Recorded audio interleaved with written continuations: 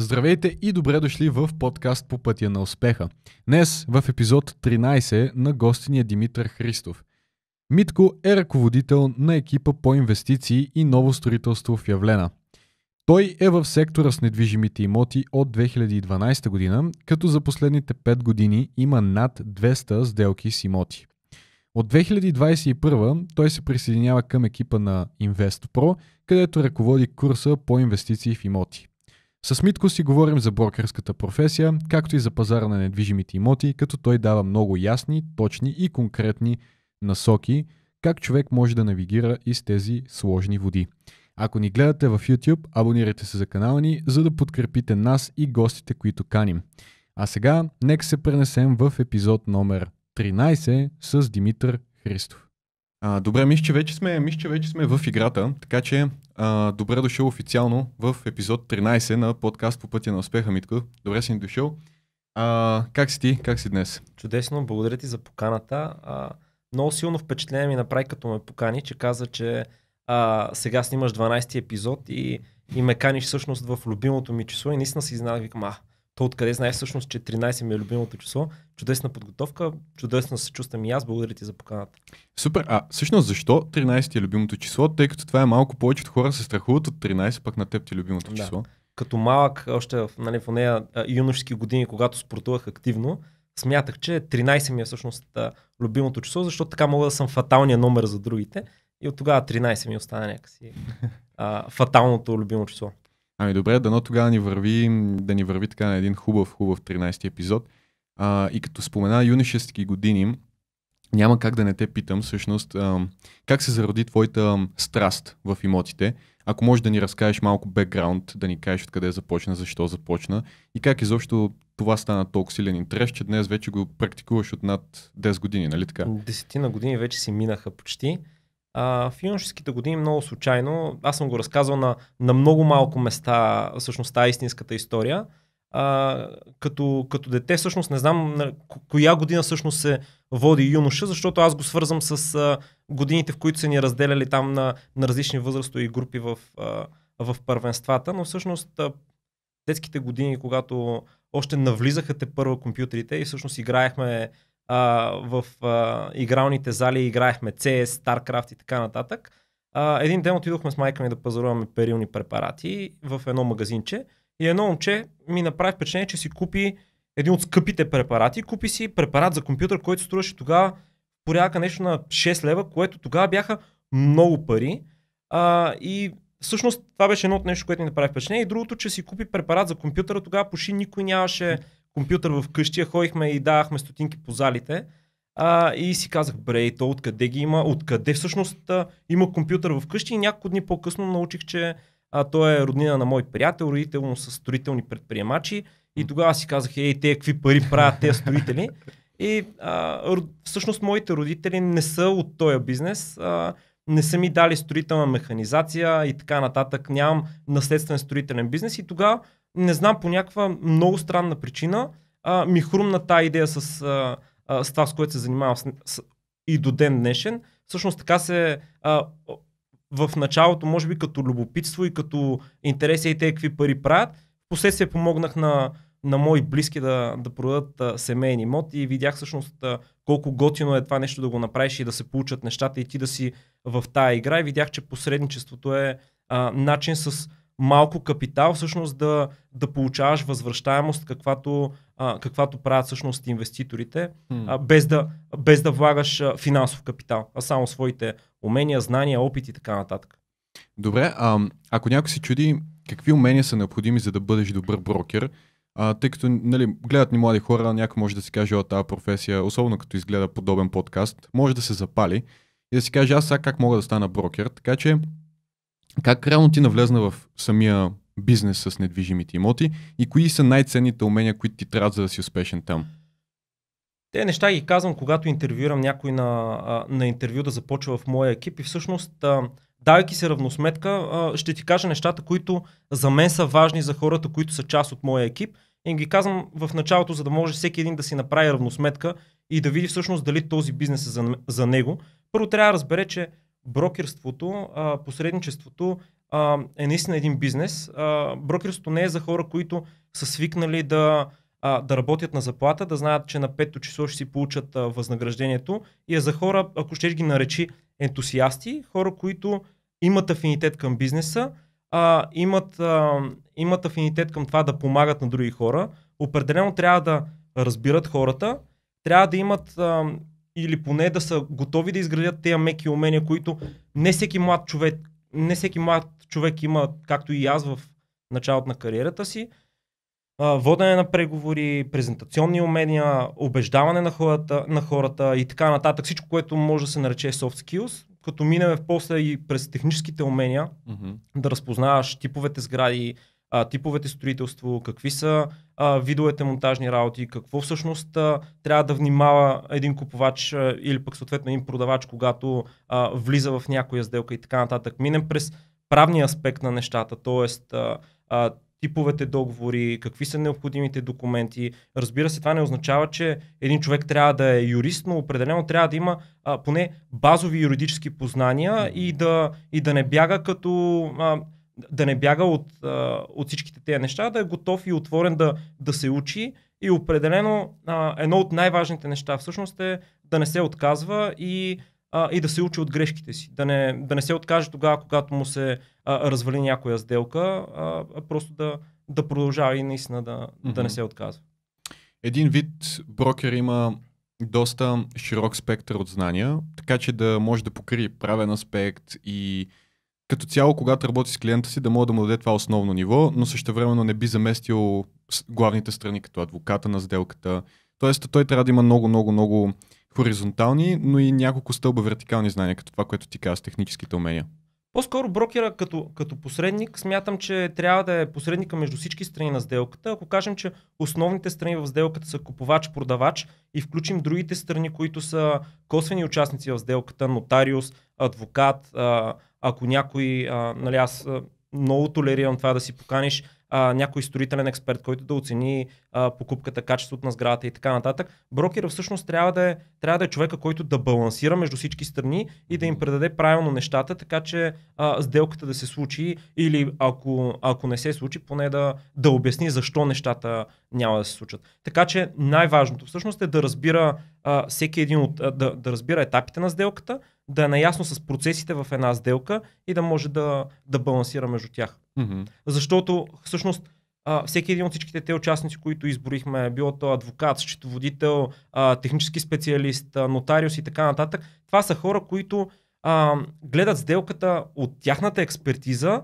А, примерно адвоката не го интересува строителството на сградата, не искам да обиждам някой, а, както и архитекта не се интересува толкова от а, правната част на нещата, той си гледа нещата, за които са го поканили него и всъщност някой трябва да е връзката между тези хора и балансиора, така че да, а, да, да няма едно излишно напрежение и да, и да помогне сделката да се случи, ако трябва да се случи. Между другото, а всеки, който е гледал някъде твое участие, то се вижда, че ти гориш тази професия и просто е супер интересно. Аз препоръчвам подкаста Банкноти си моти на Щелян с тебе. Епизодът е супер просто. А, аз го изгледах преди това, за да знам какви въпроси да не ти задавам, тъй като не исках да се препокриваме много.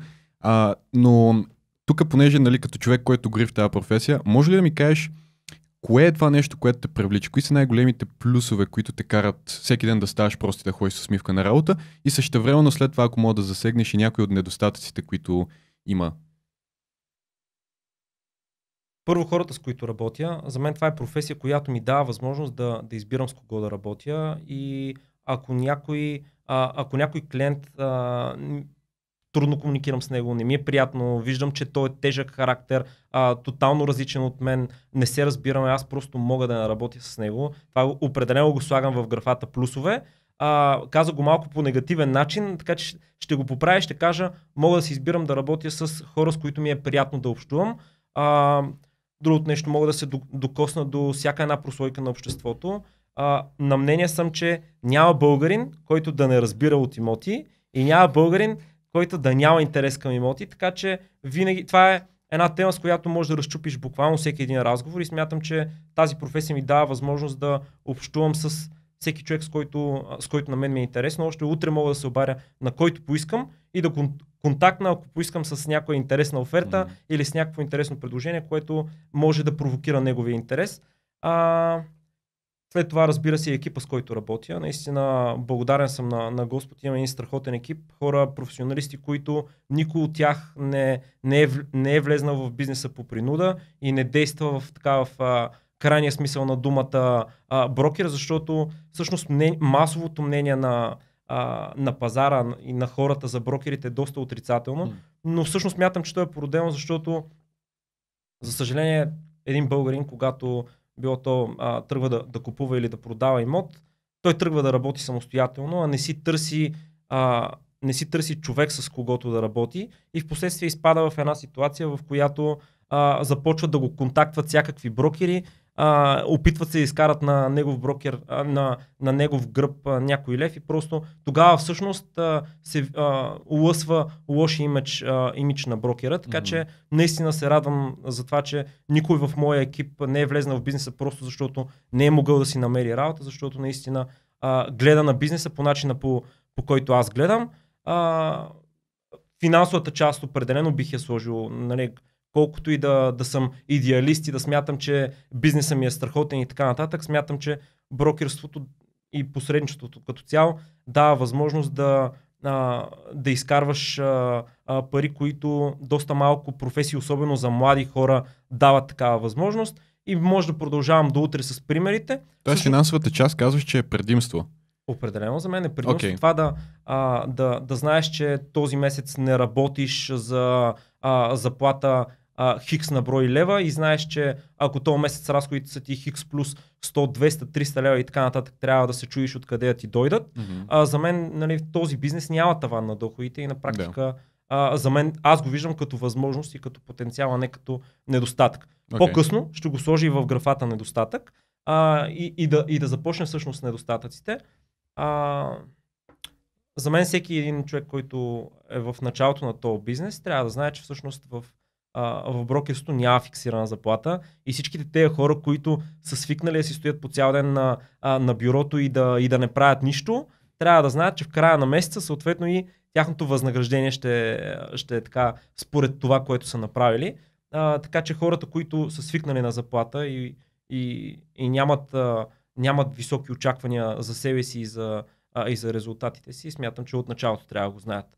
А, друг недостатък е, че можеш да се щупиш от работа, буквално този месец да си на ръба на N на брой сделки, купувача в последния ден преди сделката да осъзнае, че не иска да купува имот сега, защото пазара е висок.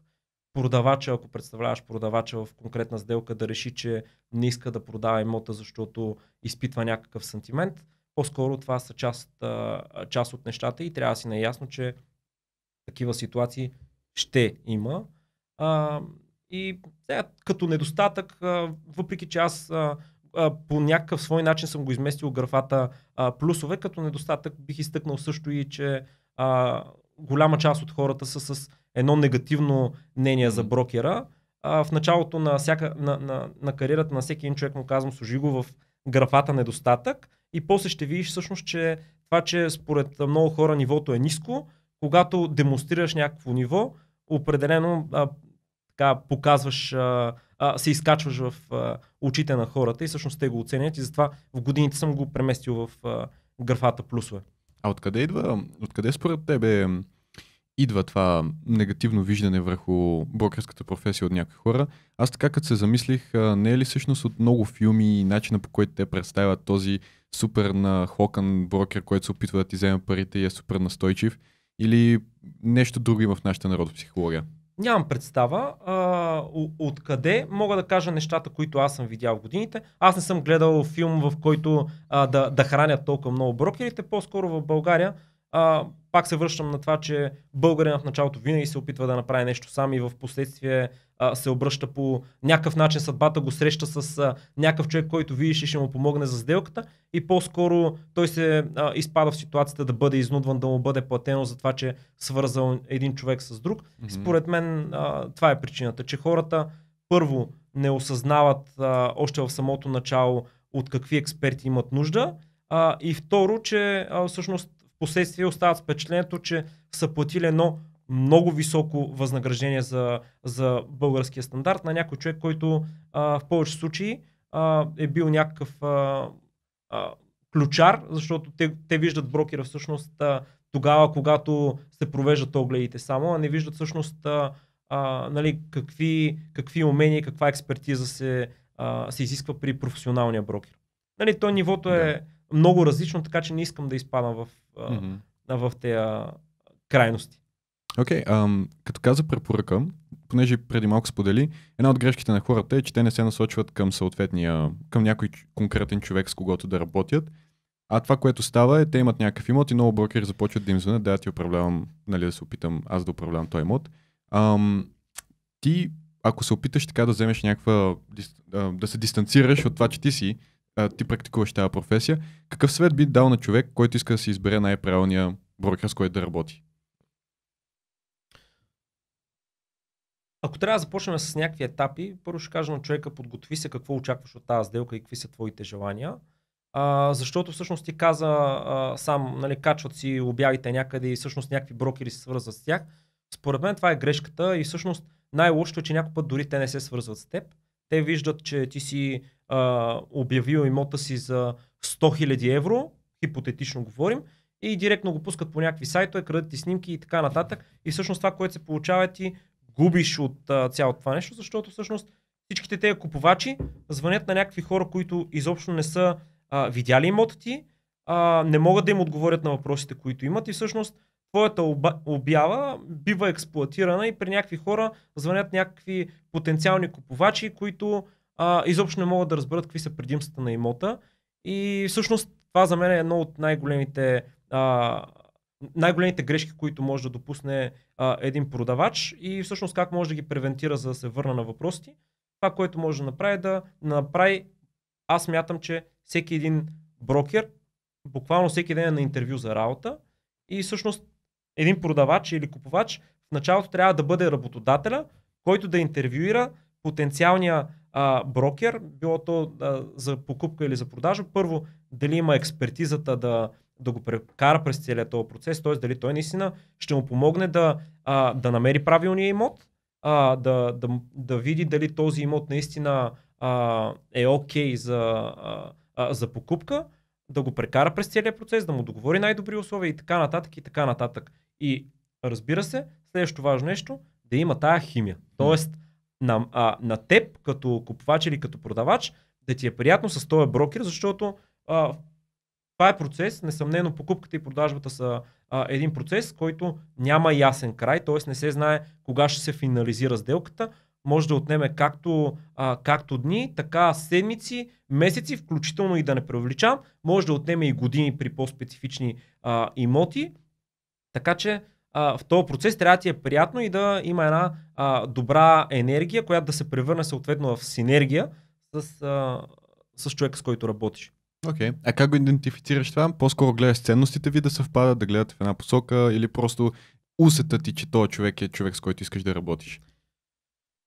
Зависи от нивото, а, на което ти сам се намираш. А, аз като, а, като, като купувач, като човек, който търси а, за себе си нон-стоп интересни оферти, за мен а, не е толкова важна експертизата на човека, който отсеща, защото смятам, че имам необходимите умения, създал съм а, добър екип, а, знам на кой адвокат ще изпрати за конкретна сделка, знам при кой нотарио ще отида за конкретна сделка, знам на кой а, приятел ще се обаря, за да дойде да види колко ще ми струва ремонта и така нататък. За мен единственото нещо, което е важно от брокера от среща е информацията. Тоест, той да ми намери това, което искам. Да ми намери нещо, което на пазара струва хипотетично 100 000 евро, той да ми го намери за 80 000 евро. Тогава не ме интересува а, комисионната, не ме интересува а, отношението, въпреки че е важно и глупо е да го казвам това нещо. Разбира се, че ме интересува, но по-скоро не е толкова важно.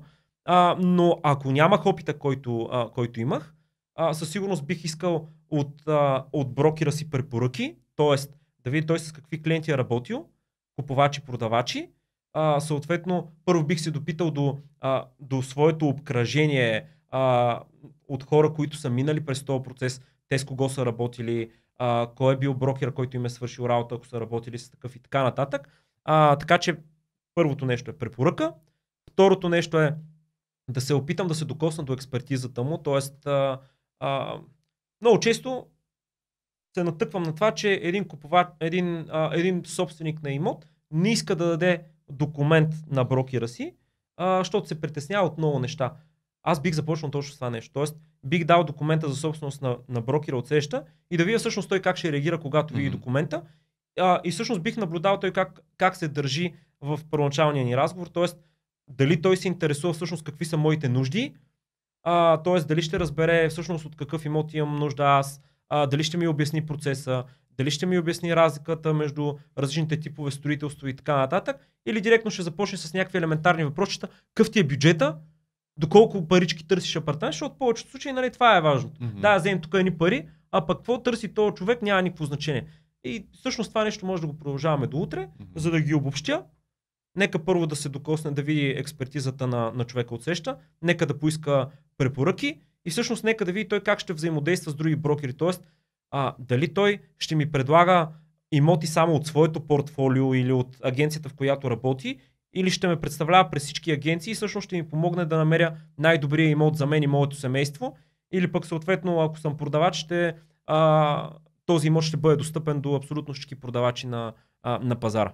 Окей. Okay. и за да за да завършим тази част с брокерската професия и да преминем вече малко повече, да се фокусираме върху имотите, mm. а, това, което исках да те питаме, а, как, ам, какви са необходимите, как да кажа, квалификации, които един млад човек трябва да притежава за да стане брокер. И тук те питам не за друго, а ние когато трябваше да си избираме офис, реално нашия брокер беше още ученик, мисля, че беше 12 клас, беше на нещо от сорта на 18 годишен младеж. Wow а, което ми направи много така интересно впечатление, защото един вид а, тази бариера, която ти трябва за да влезеш в повечето професии, като че ли няма тук или това е просто някакво такова единично наблюдение. Ще ми е интересно, ако ми разкажеш какви са квалификациите, които ти трябва, трябва ли да минеш някаква сертификация или рано всеки човек с необходимите качества и визия може да практикува професията. В България все още не се изисква, няма лиценз, който да е необходим за да практикуваш професията, т.е. това е една свободна професия, което най-просто казано няма бариера на входа, т.е. всеки може да, да влезне в бизнеса. Буквално утре сега хвърляш слушалките, махаш, буташ микрофона и ставаш брокер, а, но пък а, пазара е свободен и на практика а, в този бизнес, нали, както казвам, може да влезне всеки, но пазара много бързо го изплюва и го, и го маха от играта, ако няма необходимите качества и умения. Така че всъщност а, това, е, това е нещо. Той трябва да е, да, а, да е посветен, да е наясно, че в началото бизнесът е много труден. Представи си, че а, в началото тръгваш да катериш един хълм, т.е. ти в началото буташ, нали с колело, буташ, буташ колелото, буташ, буташ, т.е. трябва да придобиеш необходимите умения, базови познания, юридически познания, технически познания, всичките неща, които вече говорихме. И когато изкачиш хълма, съответно хората, когато разберат и това, с което ти се занимаваш, че години наред го практикуваш, добър си в това нещо, докажеш своята експертиза, вече започваш да се пускаш по хълма и колелото върви само, т.е. бизнесът е бут. Да. Това е а, най-простото обяснение на нашия бизнес.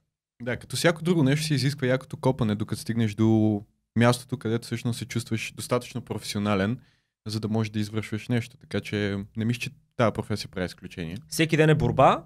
Трябва да станеш с идеята, че днес ще имаш казуси и да си готов да, да учиш. Определено в този бизнес няма човек, който да каже аз вече знам всичко. Всеки ден може да те изненада нещо ново. Било то с, а, а, а, с взаимоотношенията ти с хората, с а, воденето на преговори или, или пък ако искаш някой юридически казус. Така че а, всеки ден е изключително динамичен и различен. Страхотно. Мисля, че това беше едно добро представяне на българската професия. И сега ти предлагам да влезнем малко в дълбочина за самите имоти, всъщност, за инвестирането в имоти. И нека започнем от някъде, така че защо аджба хората инвестират в имоти? Причините са много. А, първото нещо, което бих казал, това е народопсихологията. Нали, още от малки, а, една от приказките, които си спомня от моето детство е там за трите прасенца. Едното си построило къща от слама, духнал я там вълка или какво беше, а, той избягал при при брат си, който има къщичка от дърво, а, пак вълка я отнесъл и отиват при третото прасенце, където е с тухлената къщичка. Yeah. И затова всъщност народопсихологията е първото нещо, което кара българина да, да инвестира в имоти.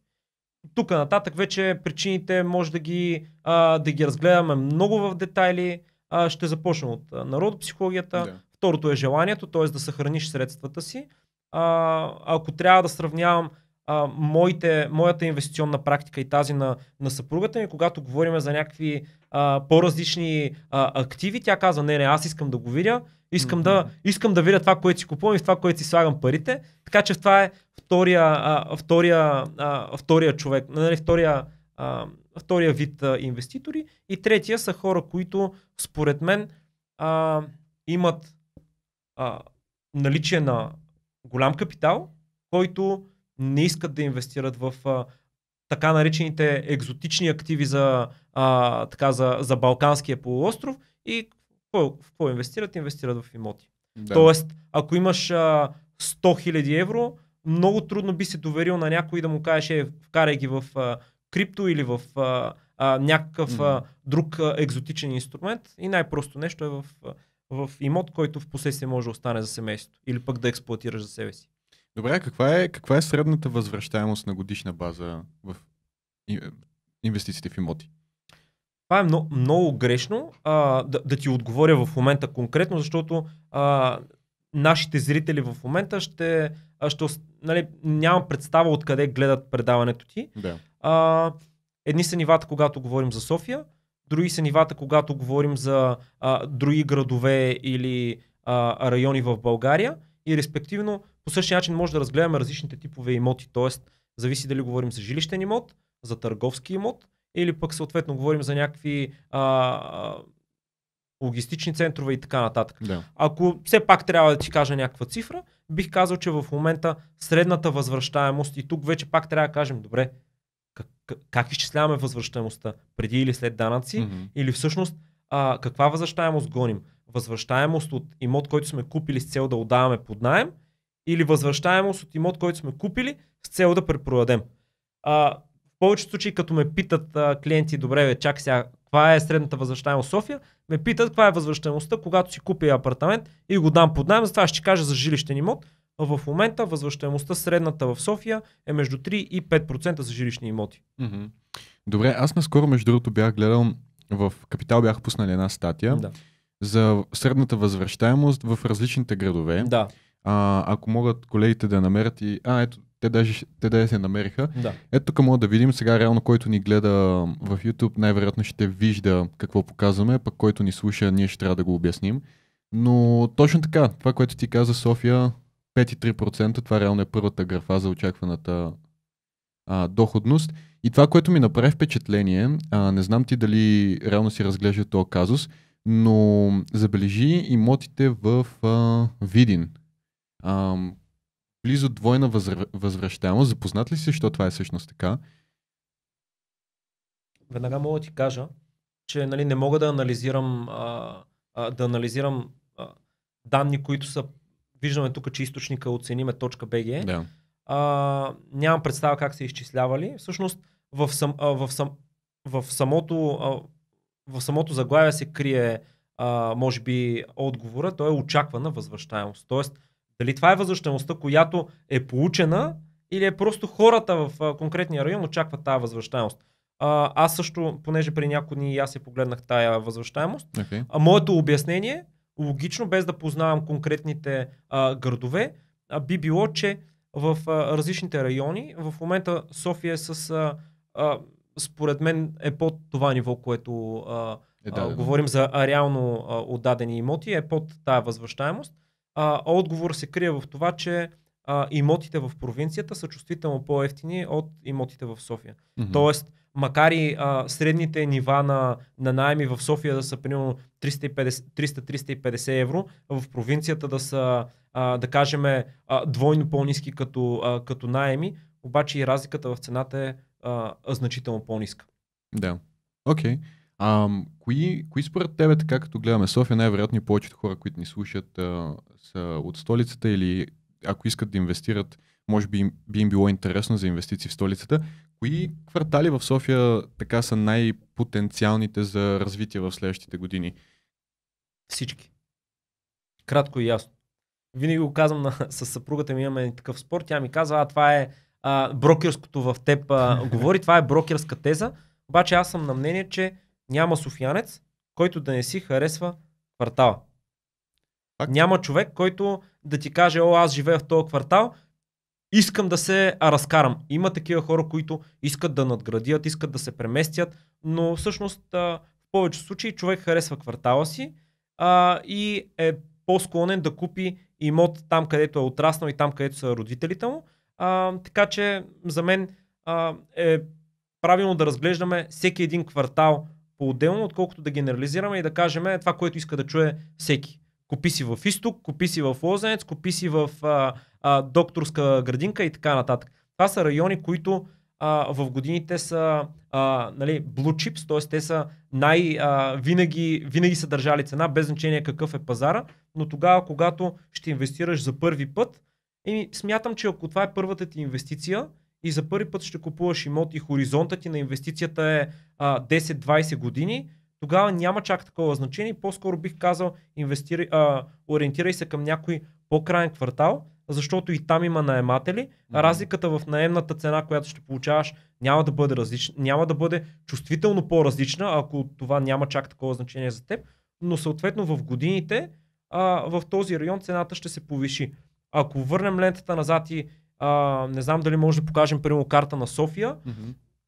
а, примерно отворете Google Maps, погледнете Черни връх а, около 2010 година и даже и 12 мисля, че от тогава са последните а, снимки в а, Google Maps, които като върнеш а, жълтото човече и, ви, а, и се вижда Черни връх какъв тесен булевард беше с а, отляво и отдясно с едни а, стари порутани къщи, които бяха някакви автосервизи и така нататък. А в момента това е един премиум район, в който има метростанция, има един от най-посещаваните търговски центрове, има страхотни а, и скъпи и добре изглеждащи бизнес гради и нови кооперации, т.е. в момента там е сърцето на София. И исторически погледнато, ако върнем още повече лентата назад и говорим за София, дано не, а, нали, не, а, така не отекчавам хората, които не познават София, но ако в а, началото на 20 век София е била, центъра е бил а, около Лъвов мост, женския пазар и така нататък, 60-те години съответно той се измества по-на юг към НДК. В последствие в момента сега виждаме, че преди, а, преди десетина години а, скъпия район е бил около Кемпински, той все още си е скъп нагоре по Лозенец и в момента виждаме едни високи цени в Кръстова вада. Тоест имаме едно южно изместване на, на, на, на предпочитаните квартали а, Мгм. в София, но всъщност хората, които са визионери и гледат напред, а, това е една стратегия на, на инвестиране. Да, между другото, това, което каза малко по-рано, тук ще ти разкажа, докато пуснем картата, която а, карта на София. А, това, което каза по-рано, че всеки си харесва квартал, е много вярно. Аз в момента живея в Красна поляна и имам много приятели от младост. И ние постоянно да. спориме кой квартал е по-добър. И аз викам, ма ние си имаме метро, ние си имаме пазар, тук минават всички рейсове, връзка с центъра, 10 минути. А, перфектен е и те казват също нещо, но за младост, така че и Да. постоянно виждам бележка закачена на входа, търся да купя апартамент в района или търся да наема апартамент. Това са брокерски бележки. Брокерски бележки. Не са от хора. Не знам, обади си и пробвай. Някой път ще го пробвам и ще ти кажа. Но никога не съм се обажил на тези неща, просто ми прави впечатление, че често ги виждам. Да допълним и за Красна поляна, да направим една реклама на твоя квартал. Ами Давай. целият спортен комплекс на, а, на септември, стадион, баскетболна, волейболна зала, парк. За мен това е супер предимство за семейен имот, да, да знаеш, че детето ти, освен на училище, може само да отиде и да спортува. Абсолютен, абсолютен факт. Аз доста често се възползвам от стадиона на септември, което си е прекрасно място. Реално, а, да, ето пуснахме и карта на София, но реално ти имаш нещо като мини гора по средата на квартала, защото там, не знам дали си бил скоро, но то си е доста гористо Да. отстрани. И е доста, доста приятно. А, така, а, какво щяхме да гледаме на картата за София? И, а, аз го обясних, ако искаш можеш да го демонстрираш това, което казвах. А, напиши черни връх. Пусни човечето около Парадайс някъде. Трудно ми е така, като нямам мишка и не управлявам аз а, а, процеса. Малко по, а, по-надолу. Още надолу. Още, още, още. Да, да. Да, давай сега, надясно завърти, карай нагоре. Ако искаш в ляво, понеже това са снимки от 2019 година, а, горе в ляво, където пише адреса, има едно часовниче, точно така, да. Малко по-надолу. Да, натисни го, върни лентата до 2012 година. Отдясно наляво, да. Охо, И давай, давай нагоре. Сега тръгни да качваш нагоре. това не го знаех. Оп, давай нагоре. Виж, тук вече започва 2002, а, 2015 да се ремонтира. Давай нагоре, той ще го подмине. Качваш се към околовръстното. Само, че пак трябва да върнеш годината, защото все още сме 2019.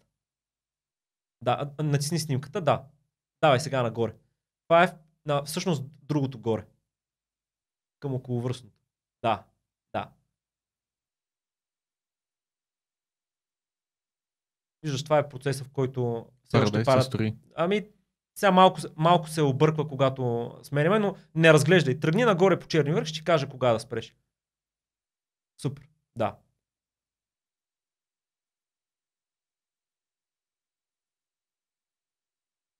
Дай пак 2002. Сега натисни 2012. Оп, разликата. Оле, Може да го гледаш. Това е края на София. Тук свършва всичко. Виждате черни връх и един булевард с а, а, две платна. Сега може да продължиш нагоре. Не, не, не цъкай нищо. Просто продължи нагоре. Да.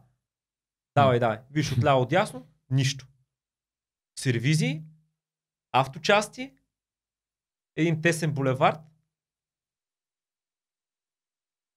И така може да продължим да го правим това нещо. Ако искаш сега вече върни лентата за 2019, хм, като имате предвид, че в момента разликата е още, още по-голяма. 2021. Ако стигне нагоре към околовръстното, а, който има време да погледне, преди години всъщност бяха едни поляни, а в момента са застроени сгради. И така, може да... Да. Между Ве- другото, това го Според забелязах. мен мина времето за, за инвестиция в Кръстова вада. да, аз забелязах, а, понеже нашата вила е в Пасарел и там се минава през цялото околовръстно. Да. И реално в края на околовръстното, което сега го построиха преди разклона за панчерел за кокаляне, Да. това няма нищо общо буквално с една година преди това. Така че това е доста така, поне ми се вижда като човек, който нищо не разбира, но като нещо, което се развива супер бързо. Тая част на, на София. Обещавам ти, че няма и да има следващите 10 години. Около връзното южната тангента вече, вече е почти завършена. Остана само а, надлеза над цар Борис, там където е а, естакадата, която сега ще започва след края на, а, на, на, на Лозен, частта, която говориш. Виждаш Мгм. около Панчерело вече а, първо а, бизнес парка, който е в района на младост и всъщност те приятели, с които спориш за цените в младост, а, това е а, един от двигателя младост да достигне до тези нива а, на, на цените, които виждаме в момента бизнес парка. Сега в малко над, над, над бизнес парка може да видиш, нали, да не правя реклама на, на, на конкретни сгради, а, доста бизнес сгради, които са, които са построени, т.е. там има а, висок клас сгради, в които, живе, а, в които работят а, скъпо платени професионалисти, което означава, че те последствие напълно нормално е да искат да инвестират в имот в района, в който работят, така че да не им се налага да, да пътуват много. Мгм. И всъщност а, а, района на Бояна, който а, е така скъп район още от време ОНО, а, в момента а, се, се измества по-на изток към а, селата, които, които спомена, нали, района на Панчарево, Кокаляне, конкретните вилни зони около а, Лозен и така нататък. И следващите 10 години смятам, че това е тенденцията, която ще се развива. Да, да, факт. А, добре, а, направихме хубава обиколка на София и реално хората, които се интересуват от имоти в София, дори да не са от София, мисля, че, мисля, че, им беше, мисля, че им беше полезно. Нека се върнем сега на някои малко по, как да кажа, теми, които засягат всички. И първата тема, която искам да питам е свързана с капитала, който ти е нужен за да инвестираш в имоти. А, има ли някаква минимална сума, която човек му е нужна, за да започне да, да инвестира в недвижимо имущество? Има. Ще започна с а, най-скъпата инвестиция. Това е, а, това е умствения ни капитал, нашите умения. Това е първата инвестиция, която всеки един инвеститор смятам, че трябва да направи. Много често хората казват, о, аз нямам, а, както и аз съм смятал, родителите не са ми дали една скъпа строителна механизация, която аз да експлуатирам, не са ми дали 10 апартамента, които да, да продам и, а, и да се видя в пари. А, всъщност това е първото нещо, което трябва да направиш. Трябва да, а, да инвестираш в а, своите, своите умения и експертиза и от тук нататък вече капитала няма почти никакво значение, защото капитала, финансовия капитал и ресурс в момента е изключително достъпен а, и аз съм на мнение, че няма човек, който в момента, а, ако на мен, примерно, ти ми кажеш, искаш ли да изкараш такава възвръщаемост и тя е по-голяма от възвръщаемостта, която бих изкарал а, сам инвестирайки сумата си, да не, да не инвестирам в, а, в тебе или в конкретната ти идея. А, така че след като, си, а, след като си изградил някакви умения и познания, от тук нататък можеш да започнеш буквално с, а, само с желание в, а, в инвестицията си. А, подозирам, че разговорът тръгва в насока как да инвестираме с малко капитал. Mm. А, така че а, първо ще кажа, нали, за, започни с това, което имаш. Не всеки има оставени семейни имоти, а, които да продаде, но, но почти всеки българин има някъде имот, който стои и обикновено се разпада. Така че един от начините да стартираш е започни с това, което вече имаш. Mm-hmm. Огледай се, вземи един лист хартия и напиши, а, напиши всички, всички имоти, до които имаш пряк достъп и които стоят и просто буквално стоят заключени и хващат а, прах, защото може да започнеш с тях. Окей, okay, ти каза, че капитал в момента и е достъпен. Нали, ако оставим нещата, които вече притежаваш и може да се замислиш за къща, която имаш или някаква земя, където имаш, а, да кажем, че искаш да използваш а, финансовия лост, а, което означава, че нали, искаш по някакъв начин да работиш с банка, за да го финансираш. Нека си поговорим малко за, за как се използва най-адекватно финансовия лост. И аз после имам един казус, който си мислех, може да го включиш така като отговор в твоя отговор. Да кажем, че имаш да, пари за един имот. Да кажем, че имаш 200 000 лева да инвестираш. А кое е по-добре да си финансираш, имаш ги кеш. Кое е по-добре да си финансираш имота цялостно и ти вече да го притежаваш или да купиш няколко имота, като използваш тези 200 000 лева реално за главница и другото го вземеш под формата на, лев, на финансов лост? Няма, няма правилен отговор. Има а, правилно решение спрямо конкретния казус. Зависи дали купуваш имота си за себе си, за, за собствено жилище и дали искаш да се занимаваш активно с инвестиции или инвестираш активно в имоти и искаш а, капиталът ти да работи за теб. В, във втория случай, тогава когато очакваш да излезне друг апартамент, очакваш да го направиш отново, а, имаш опита и така нататък, бих казал, по-скоро използвай а, тези 200 хиляди като 2 милиона, Тоест, какво означава това за хората, които не знаят какво е този е финансов лост? Тоест, използвай а, 10% или 20% от парите, които имаш, с ясната, с ясната идея, че във всеки един момент може да ги извадиш и да а, погасиш задължението, което имаш към а, конкретна банка, но а, тези пари ги използвай, за да може да, да, да, бъдеш, да, да бъдеш бърз и да влезеш в друга сделка. Какво означава това? По-просто означава, че от тези 200 000 лева, 10% са 20 000 лева, т.е. инвестирай 20 000 лева в един имот, получи останалите 80% а, или там колкото, а, колкото ти е необходимо чрез банков кредит, така когато продадеш имота, твоята възвръщаемост ще бъде много по-висока. За да, за да може да го, да, го, а, да го обясним с цифри, какво означава това? Купуваме имот, който струва 100 000 лева, ние сме инвестирали, а, продаваме и в двата случая този имот за 110 000 лева. В единия случай обаче сме инвестирали цялата сума с собствени средства, т.е. инвестирали сме 100 000 лева. Нашата възвръщаемост тогава е 10%. Т.е. ние сме изкарали, инвестирали сме 100 000 лева, изкарали сме 110. В другия случай обаче сме инвестирали само 10 000 лева, т.е. ползвали сме заемен капитал отново продаваме същия имот за 110 000 лева, тогава нашата възвръщаемост е 100%. Тоест, инвестирали сме 10 000 и сме изкарали 10 000. Тогава нашата възвръщаемост е едно към едно спрямо нашата инвестиция. Факт. Това, което забелязвам, аз бях от хората, които си казаха, о, никога не бих използвал кредит, когато бях по-малък. Да. Може би, защото това е до голяма степен вкоренено и в нашата народопсихология. Ако вашите са хора, които ти казват, не, никой не взима и кредит, най-вероятно и ти ставаш такъв човек. Та и аз бях на, на един етап от живота си на това мнение, но после осъзнах, че всъщност много успешни хора около мене ми казваха за силата на този финансов лост и аз започнах реално да се пообразувам малко, така че а, за всеки, който не е много сигурен как работи, а, мисля, че това е едно от тези знания, които е добре да, да инвестира малко време, за да се научи. тъй като в момента, както и ти каза малко по-рано, капитал е доста ефтин и за хората, които особено изкарват пари от парите си или инвестират, а, финансовия лост е много, много силно нещо. Да, определено. Да. Но на теб ти е отнело време и си го разбрал.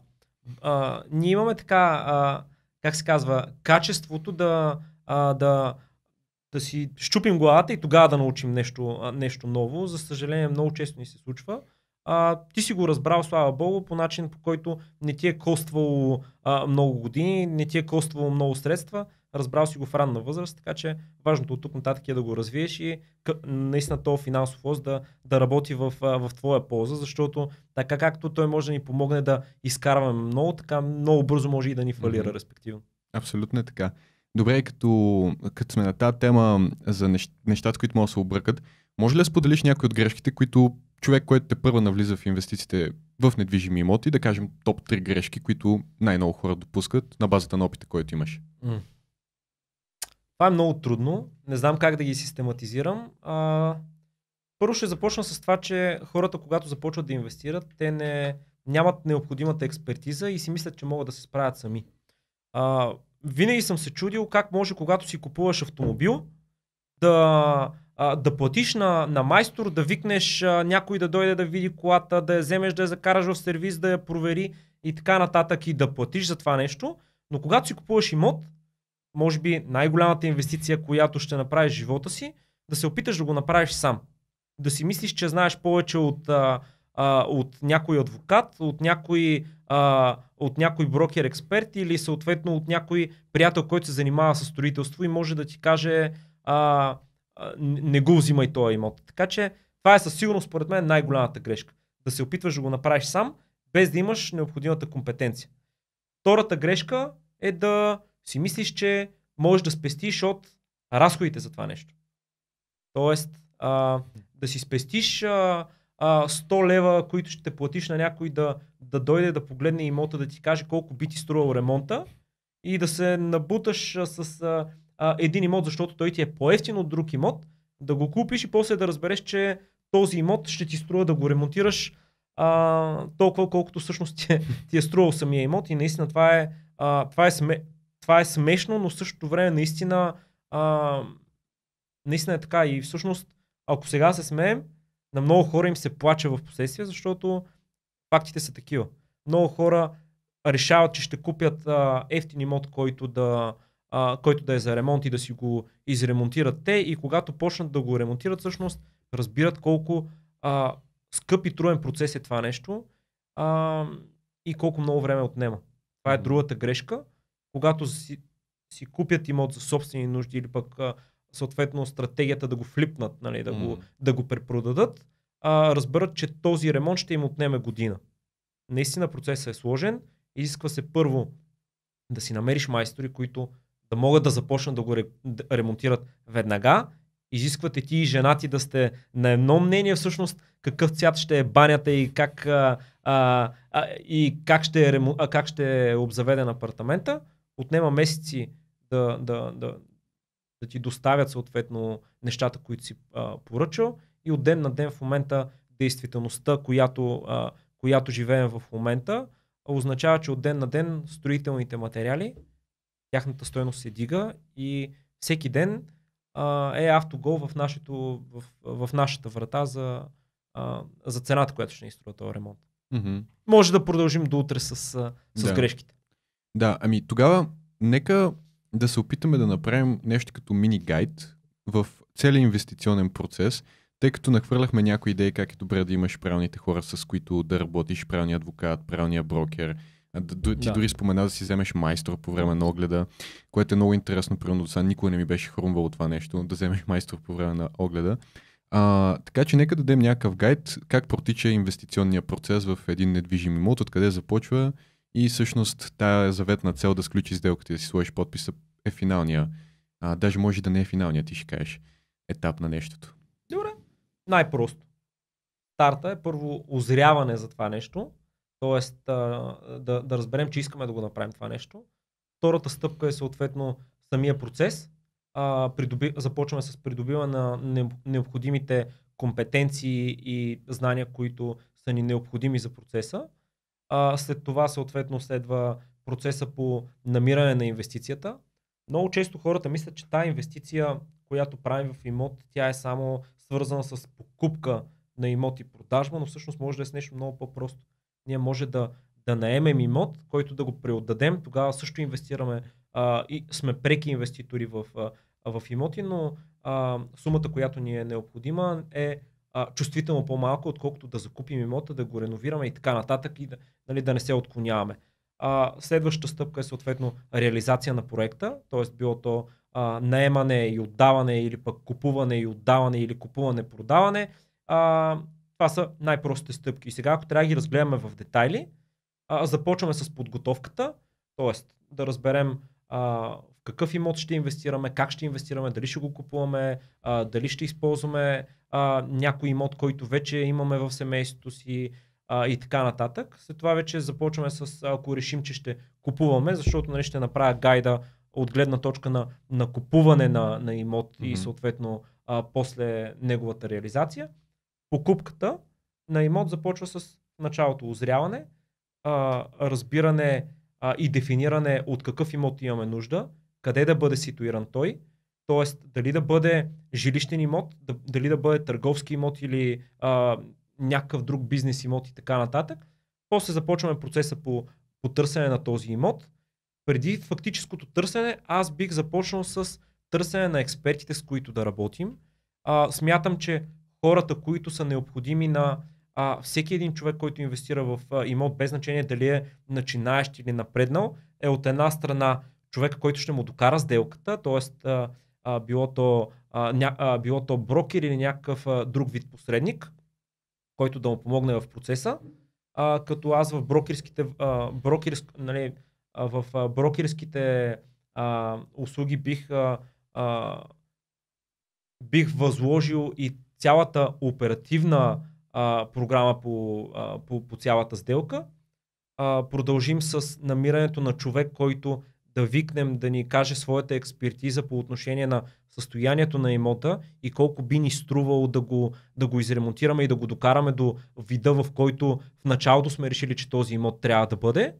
Продължим след това с адвоката, който ще прегледа нашите документи а, и съответно счетоводителя, който ще, а, ако а, като казвам счетоводител, по-скоро имам предвид човек, който има необходимите данъчни, а, има необходимите познания, който да ни консултира за данъчната страна на нещата, защото знаем, че когато изкараме от нещо пари, съответно а, едно от нещата, които трябва да направим е да си платим а, данъка за това, че сме изкарали всъщност тази печалба. А, тук в а, хората, които ни помагат в сделката, също така бих включил и а, портфолио менеджер, човек, който ще ни помогне съответно в последствие с, а, а, с а, поддръжката на, нашия, на, на, наш, на нашето портфолио от имоти.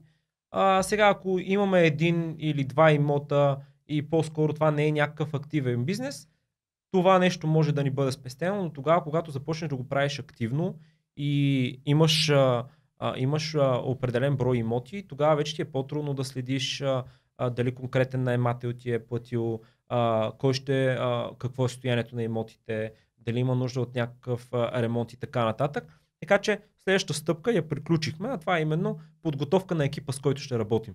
След това вече се насочваме към следващата стъпка, търсене на, търсене на имота, в който ще инвестираме. Тук в тая стъпка са включени доста неща, като а, посещения на огледи, избор на имоти, които да видим и така нататък и така нататък. След като се спрем на имот, който а, смятаме, че е подходящ за, наш, а, за нас, а, викаме строителя или там човека, на който имаме доверие, който ще ни консултира за състоянието на имота, ще ни направи калкулацията колко би ни струвал а, ремонта, за да преценим дали тази инвестиция е подходяща и дали влизаме в нея. Съответно, следва процеса към водене на преговори с продавача. Тоест, при какви условия ще купим този имот. След като се договорят условията, следващата стъпка е сключване на предварителен договор. Нашия адвокат преглежда, а, преглежда легитимационните документи, преглежда документите по сделката, казва да, нещата са окей, не, нещата не са окей, излизаме от сделката. Или пък казва окей са, но трябва да се представят и тези документи, защото видяхме еди си какво, нали, да не изпадаме в някакви подробности, защото в моята глава нещата са изключително подредени и систематизирани, но предполагам, че в момента за теб е някаква каша. А, така че следващата стъпка я приключиме с водене на преговори и юридическо становище. Пристъпваме към фактическата сделка, т.е. подписване на предварителен договор, с който двамата с продавача си регламентираме взаимоотношенията конкретно. Т.е. той като продавач при какви условия продава на нас като купувачи апартамента и така нататък и така нататък. След това вече следващия, следващия процес, който, а, който е по кредитиране на имота, ако ще работим с а, а, заемен капитал, това е един процес, който има няколко стъпки, няма в момента да ги изборяваме, ако искаш после може да ги, а, да ги разгледаме. И накрая вече а, завършваме а, етапа на сделката а, с нотариално изповядване, нали, заветното mm-hmm. подписване пред нотариус, с което фактически си прехвърляме собствеността.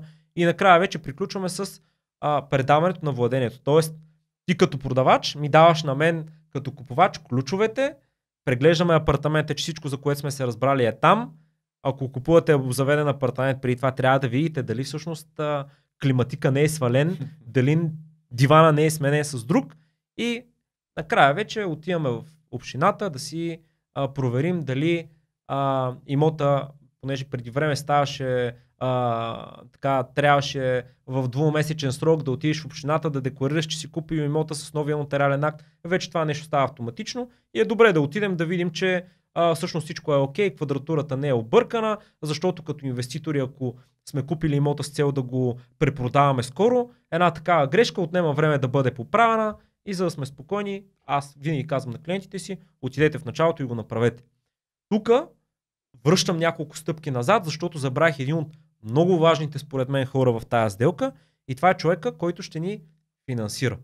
Тоест, ако работим с, а, с заемен капитал с някоя банка, смятам, че най-добрият вариант е в началото да имаме а, кредитен консултант от една страна и от друга страна финансов консултант, който да ни консултира за финансовата част на нещата. Тоест, ролята на кредитния консултант, вместо да ходим от банка в банка да търсиме коя банка ще ни даде най-добрите условия, нещо, което преди аз наричах кредитен туризъм, отиваш в една банка, после в друга банка, в трета, виждаш коя ти дава най-добри условия, пазариш се с тях възоснова на оферта, която ти е дала четвърта банка и така нататък. Цялото това нещо може да бъде систематизирано и улеснено за нас, като работим с кредитен консултант, който от нас не получава нищо, а получава възнаграждение от банката.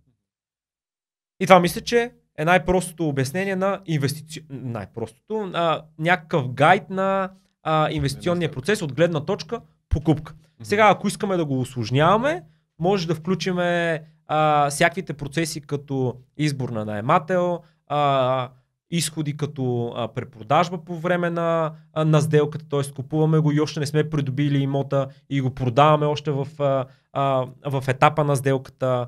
А, съответно пък а, а, може да го разгледаме и от гледна точка, ако инвестираме като продавач, т.е. какви са стъпките за продавача, защото а, в инвестиционния процес за купувача и за продавача има разлика, mm-hmm. но този гайд, който накратко направихме в момента е общо взето а, ка, достъпен и а, и еднакво важен и за двете страни. Тоест стъпките са едни и същи. Вече а, конкретните, а, конкретните действия за всяка една от страната в всяка една стъпка е малко по-различна и има собствени, а, собствени цели. Хм. Това беше доста добър гайд, бих казал, че аз си го гледам два пъти, даже може да намаля скоростта малко, за да мога да асимилирам а, а, нещата, които казваш. Но това, което ми хрумна, докато, докато го разказваше, е в момента говорихме за инвестиция в имот. Има ли съществени разлики, ако човек просто иска да инвестира и да си купи жилище, не е с цел да го препродава, просто за да си живее там или процес е абсолютно същия? Някакви неща, за които трябва да внимавам малко повече в този аспект. Дано не съм те подвел, но гайда, който направих аз, е за, за покупката на имоти и за, като казвам, инвестиране. По-скоро а, имах предвид стъпките, които правиш, за да придобиеш имота.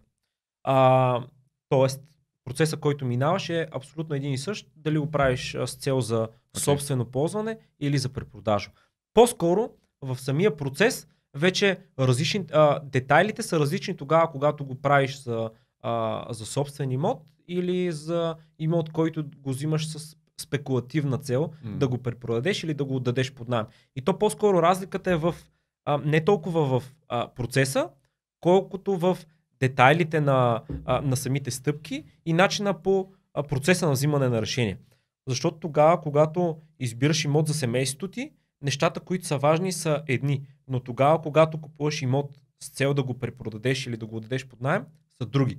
Тоест в едното, в единия случай ти гледаш цифрите и за теб е много важно този имот колко печалба ще ти донесе без значение от формата по която ще получиш, а в другото е важно дали този имот ще отговори на нуждите на, на, на твоето семейство. Защото когато купуваме имот с цел да го а, продадем, по-скоро мислиме, а, мислиме за масовия потребител, т.е. М. дали този имот ще се котира за а, повечето потенциални клиенти на пазари и дали цифрите за нас са окей. Но тогава, когато го купуваш за, за семейството си, вече имаш различни неща.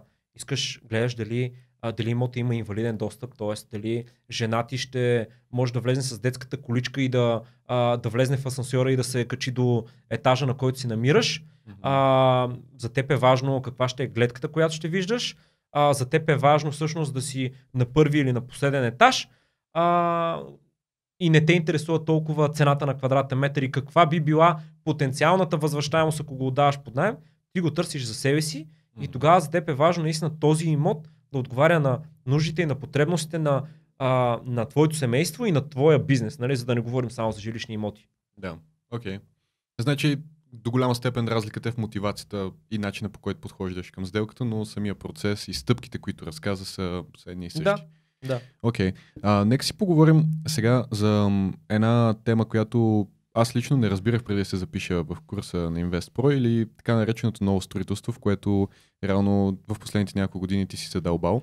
А, като ми е интересно първо да направим една дефиниция. Какво точно наричаме ново строителство, за да работим с нея в следващите няколко минути. Аз не мога да ти кажа какво наричаме ново строителство, защото всеки човек разбира нещо ново. Едни разбират като кажат ново строителство нещо, което сега се строи, други казват а, ново строителство нещо, което се е строило пред очите им. М. А, аз си спомням една сграда, която а, на, на улицата, на която живея все още, казват новата сграда, обаче аз си спомням как съм си играл на две годишна възраст отпре на пясъчника, а, като строиха сградата и нали, в моето съзнание още е, е нова сграда, така че всеки човек има различни разбирания. Много хора а, по-скоро трябва да си говориш с, с всеки човек индивидуално и да разбереш всъщност какво за него е ново строителство. За мен моето разбиране за ново строителство е нещо, което сега се строи. Тоест Добре. новостроящо се. Става въпрос за нещо, което сега се строи и не е завършено. Предполагам, че Да. това е ново строителство. За мен това е ново строителство. Да. новостроящо се. За други ново строителство е а, определена година, в която е построена, а, построена сграда. Тоест, хората, с които работя, много често казват, аз искам нова сграда и аз тогава ги питам, какво значи нова сграда? М. Нещо, което сега се строи или нещо, което е построено след определена година. И тук вече е важно всъщност човека а, какво има предвид под а, нали, ново строителство, каква, каква година за него е важно и по-скоро аз бих обяснил на хората, които имат интерес към ново строителство, какви са предимствата и недостатъците Мгм. на спрямо спрямо ново строителство и каква е разликата при строителните работи и качествата на, на една сграда, строена в а, определени години, защото в, а, в годините, съответно, нормативната уредба има различни изисквания към всяка една сграда, която с годините се повишава. Да, това, а, ако поправим, ако греша, но много хора наричат в момента строящото се, Да. стро- строящите се сгради с жаргона на зелено, да купиш нещо Да. един вид на зелено. М. А, и знам, че има така два лагера. Едните са хората, които супер много а, са против това да купят нещо, което тук в момента се строи и да инвестират, защото един вид те така стават инвеститори, доколкото са моите разбирания в самата сграда, а пък други хора точно такъв тип сделки си търсят. Така че а, би ми било интересно това, което ти каза, да дадем плюсове, минуси, недостатъци на точно този тип сделки. На кои? На, зеле... на, на, на зелено? Да, да. Ами, добре, с кое да започнем? С плюсовете Нека или с минусите с- и, и, и от, каква, от, каква, от каква позиция да ги разглеждам? Като, Ти- като имот, който купуваме с цел да продаваме или имот, който купуваме за, за, за себе си и за семейството си? Може би от Дай глед- някаква рамка. Да, нека, нека ги разгледаме от а, инвестиционна цел. А, тъй като може би а, един процес на строене на, един, а, на една сграда би отнел няколко години, пък ти ако искаш да си купиш имот, в който да живее семейството ти, те няколко години ти трябва някъде да живееш. Така че може би да ги разгледам от тази гледна точка, въпреки че ако ти кажеш, че от опита ти повече хора купуват на зелено, за да живеят там. Може Юка, да... няколко са мотивациите на, няко... на, на хората да купуват в а, процес на строителство. А, много често купуват а, и за собствени нужди, а не само за инвестиционна. И то по-често е породено от това, че когато ти искаш да, да живееш в района, в който си израснал и искаш да надградиш, искаш да купиш а, нещо, което а, е, е различно от старото строителство, което си живял, а, искаш да избягаш от а, старото и да отидеш нещо ново, тогава си принуден в момента в тази нова действителност, която в момента в който излезе нещо на пазара, той се продава, си принуден да си купиш в начален етап, така че да си го избереш и той да отговаря на, на нуждите на семейството. Тоест, тук започваме с плюсовете, те са общи и за едното и за другото, когато купуваш нещо, което е в процес на строителство, ти печелиш това, че то е шито по мярка, то е правено за, за тебе. Тоест ти в, в, в началния етап все още имаш възможността да, да избереш какво да се вижда през прозореца, какво да е разпределението, а, може да избереш какви да са размерите на стаите, разбира се, ако може да си го позволиш това нещо. Mm-hmm. Може да, да си избереш големината на, на, на, на терасата, а, материалите са по-нови и така нататък. Неща, които в старото строителство част от нещата можеш да подмениш, но всъщност сградата като конструкции, като размери на помещенията, те си остават същите. Да, може да се опитаме да направим някакво преустройство, но в начален етап това нещо може да бъде направено из основи на база на нашата необходимост. А, от инвестиционна гледна точка, това, което печелим купувайки в начален етап, всъщност е, че а, тогава, когато нямаме, нямаме всички а, ця, всички средства за, за купуването на имот, но пък имаме а, бизнес, който а, прогнозируемо ще ни донесе следващите две години определена сума, а, тогава ние може да купим нещо, което в момента дори да е над възможностите ни, следващите две години, в които всъщност ще се построи сградата, да знаем, че а, ние ще набавим тези средства. Тоест, ако ние в момента ще продаваме стари имот наследствен, който искаме да, а, да заменим с друг по-нов и така нататък, ние имаме достатъчен срок да, да вземем възможно най-добра цена за нашия апартамент, който продаваме и не сме притиснати в същото време от това да, а, да дадем парите на продавача за, а, за, за новия имот. По-скоро плюсовете, нали, всеки а, вижда различни плюсове mm-hmm. и недостатъци. А, може да набързо ще ги изборя, освен това да си избереш а, а, да си избереш локация, да си избереш разпределение. А, нормално е една нова сграда да отговаря на повече изисквания спрямо една, една стара сграда. А, нормално е тази сграда да, да е на, на локация, която ние сме си харесали, разсрочено плащане, възможно съответно в момента на този пазар с нарастващите цени, докато тази сграда се построи, а, ние поемайки риска, а, инвестиционния риск тази сграда да, да бъде забавена, да не бъде завършена и така нататък, да закупим в начален, етаж, а, на, в начален етап с някакъв дискаунт, т.е. Mm. на по-ниска цена, отколкото когато тази сграда бъде завършена и потенциалният купувач, на който ще продадем после имота, може да влезне и да го види. Така че това са част от предимствата, всеки човек има свои разбирания. По-скоро аз винаги казвам на хората какви са недостатъците на, на покупката в начален етап, така че те да знаят какви рискове поемат. На първо време, тогава, когато купуваш в начален етап апартамент или някакъв вид имот, ти трябва да си наясно, че ти си инвеститор в този проект и ти поемаш рисковете на, а, на инвеститора, които възникват в самия процес. Тоест, може да излезе някакъв порок с документите, т.е. нещо, което някъде е било пропуснато и това да, да забави или да стопира а, потенциалното строителство.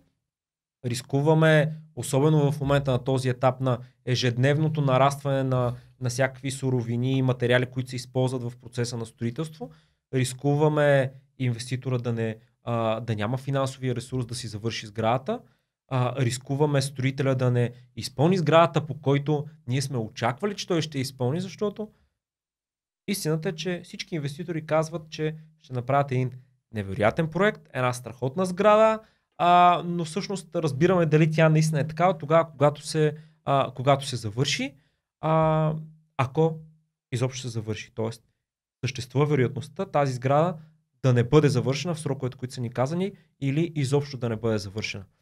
А, Мгм. Това са важните неща, да, а, които всеки един човек трябва да, трябва да знае, а, започвайки да, да, да инвестира в а, такава сграда. Окей, а ти лично, твоите предпочитания, да ги наречем инвестиционни предпочитания, а, понеже знам, че ти инвестираш в а, недвижими имоти, в а, какъв аспект са? Тоест по-скоро инвестираш в ново, старо строителство, също така би ми било интересно, ако окей да кажеш дали инвестираш в жилищни или офис сгради, всяко нещо, което така... А, и, и защо го правиш всъщност? Това би било ценно. До момента не съм инвестирал в, в а, офисни сгради. Миналата година бях пред покупка на, на, на търговски имот. Мои приятели ме разобедиха. В момента съжалявам, че го направиха. А, по отношение на, а, на сградите нямам абсолютно никакви предпочитания. Тогава, когато е за инвестиция, а, по-скоро имам очаквания, които могат да бъдат завършени. А, в момента съм инвестирал в, а, а, в, в нова сграда с а, ясната идея, че а, в момента не е най-подходящия а, момент за инвестиция в начален етап с това нарастване на, а, на цените на материалите, защото проектът е голям и общо взето а, рисковете са изключително големи, но този хоризонт от а, 2-3 години, в които сградата ще бъде завършена, ми дава възможност средствата, които съм планувал, че ще ми трябват на, на третата година или там сроковете, които а, знам, че а, а, имам, имам плащане по конкретната сделка, на мен ми дават възможност да използвам този капитал, а, инвестирайки го в а, апартаменти, които са вече построени а, и, са, и знам, че ще бъдат ликвидни, така че мога, мога този ресурс да го използвам да купувам нещо старо и да го, предам, а, и да го продам в, а, а, през това време, когато ми дойде падежа на, на вноската по а, въпросната сграда. А, за мен предимство, предимство е на това, че инвестирайки в начален етап, аз мога още по време на строителство да препродам и, а, имота и така печеля а, по друг начин, чрез този финансов лост, за който с теб малко по-рано си говорихме, че купувайки имота и плащайки някакъв процент а, в начален етап, веднага, щом продавам имота сега, а, ако изкарам същия процент, който, а, който съм инвестирал, това означава, че моята възвръщаемост е Мгм. 100%. Нали, вече е въпрос на сметки а, и на инвестиционни намерения. Нямам конкретни, за да отговоря по-конкретно, няма никакво значение за мен а, дали офертата, която, която купуваме нова или стара. Да, просто трябва да числата ти да съвпадат и да вижда смисъл в сделката. Ако Да, те разбирам. по-скоро, по-скоро бих казал смисъл, защото а, някой път някои неща не могат да се а, обяснят с числа, защото всъщност изхода от една сделка и числата излизат тогава, когато ти излезнеш от, от една сделка а, и всъщност въпрос на инвестиционна стратегия е всъщност а, а, какво очакваш от конкретната сделка. Мгм. Има хора, които не ги интересуват толкова числата. Те знаят, че а, има хора, които изкарват наистина големи пари. Тях ги е страх да ги държат в, а, а, в банки. А, нямат смисъл да ги вкарват отново в бизнеса си, защото нямат тази необходимост. Страх ги е да инвестират в, а, а, в някакъв друг актив. Те просто искат да си купят имот и да знаят, че този имот в годините той ще бъде ликвиден и тогава, когато им се наложи да излезнат от тази инвестиция, ще могат да го продадат. Така че не винаги всичко е въпрос на, а, на числа. Някой път е и въпрос на, на усет или просто на, а, на емоция. Окей. Добре, да си представим, че ти, Митко, отиваш на оглед на имот, който искаш да инвестираш в него. Да. Без значение дали е ново или старо. Не, всъщност да кажем, че е старо строителство. Добре. А, какви неща гледаш? Кои са първите неща, които на първо впечатление, още първи път, когато ти да го разглеждаш, обръщаш внимание? При мен нещата започват много преди да, да отида на оглед. А започват още с избора на офертата, т.е. без значение от източника, който е дошла. Най-често хората намират оферти в, в интернет. За мен най-добрият обаче начин е а, от наши познати неща, които изобщо не са излезнали в публичното пространство. Тоест, процеса на гледане започва още тогава, предварителната информация. Тоест, а, да се опитаме да разберем всъщност каква е причината за продажа на този имот. Дали собственика от някъде го е наследил или просто или го е купил с инвестиционна цел да го прода- продаде, защото от опита, който имам, аз съм научил, че хората, които са наследили нещо, те не знаят каква е неговата стоеност. Тоест, те не знаят, те а, не знаят какво е коствало на човек, който го е купил.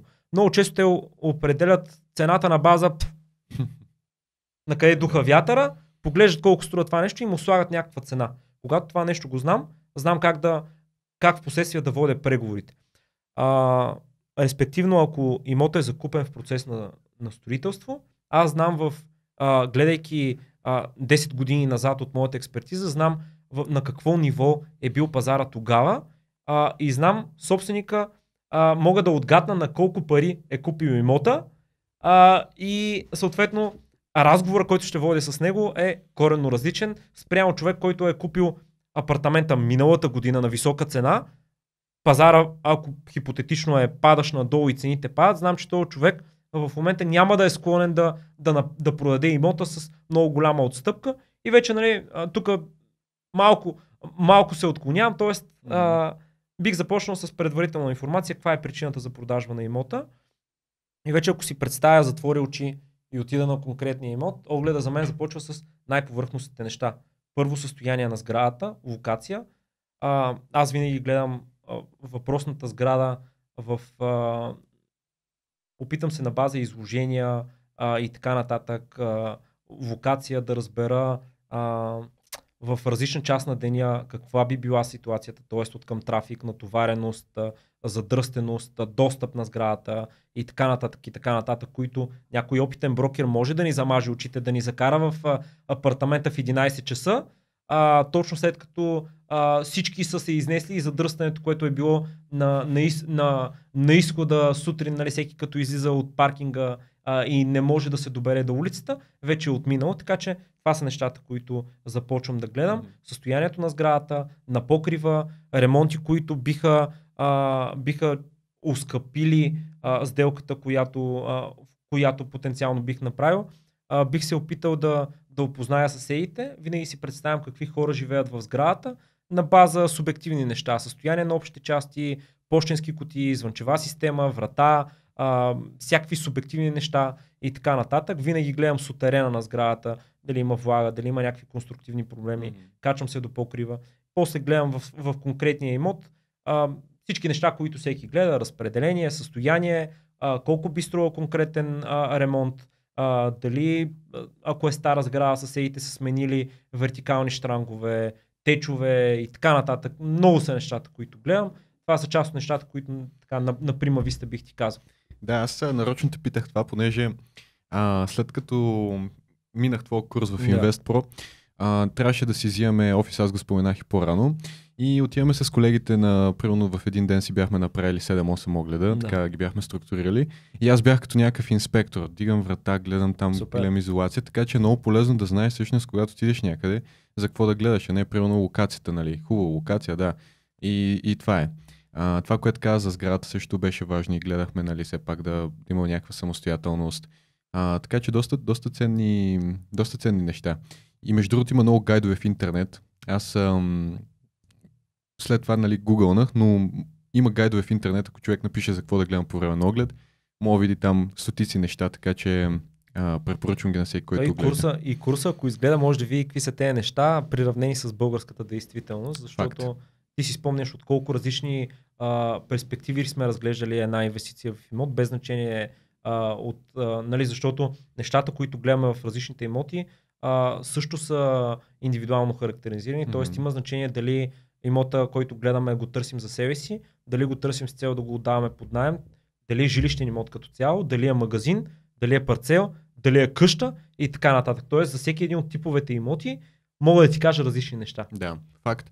А, това, което си говорихме в началото, то мисля, че не е на камера, но да, ти мога да прочетеш книги, да кажем, мога да прочетеш Робърт Киосаки, Богат татко, беден татко и да видиш как той го прави в неговата американска действителност, да. но тук е съвсем различно.